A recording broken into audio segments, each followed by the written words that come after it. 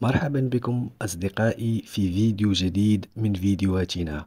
حيث سنتحدث في هذا الفيديو حول صناعة سماد الحديد في المنزل وبالمجان وبأشياء بسيطة. إن صنع سماد الحديد في المنزل هو طريقة رائعة لتحسين جودة التربة وضمان نمو سريع للنباتات بشكل صحي وهو علاج لأصفرار الأوراق.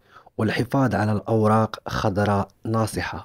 أولا يجب أن نعرف أصدقائي بأن سماد الحديد هو عنصر أساسي يحتاجه النبات للنمو بسرعة وبشكل صحي وقوي ولكن في بعض الأحيان يمكن أن يواجه النبات إصفرار وتساقط الأوراق وهذا يعني أصدقائي نقص الحديد في التربة مما يؤثر على صحته ونموه.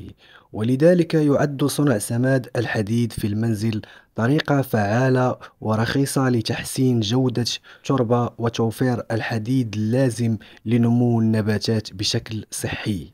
وفي هذه الطريقة أصدقائي سنستخدم شباك حديدي صادئ والسكر وعصير الليمون وذلك لأن الشباك الحديدي المصدأ يحتوي على نسبة عالية من الحديد ويتحلل بسهولة في محلول الماء كما أن السكر يساعد على امتصاص الحديد بشكل أفضل من قبل النباتات وفي حين يساعد عصير الليمون الحامض على تحليل وعلى تخمير الحديد بشكل أفضل.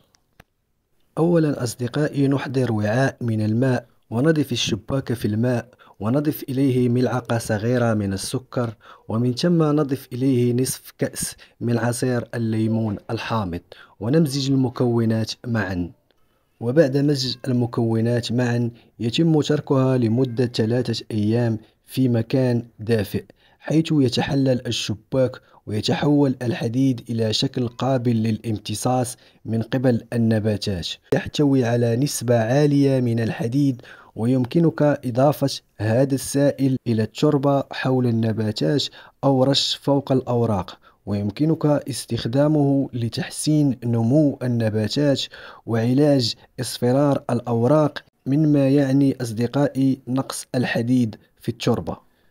وبهذا أصدقائي نصل إلى نهاية هذا الفيديو المثير حول صناعة سماد الحديد في المنزل باستخدام شباك حديد صدئ وسكر وعصير الليمون الحامض.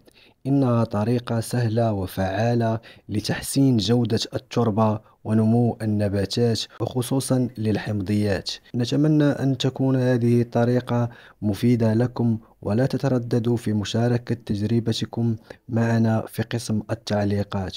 ولا تنسوا الاشتراك في القناة ليصلكم كل جديد ومفيد في عالم الزراعة في المنزل. وشكرا لمتابعتكم ونراكم في فيديو قادم إن شاء الله.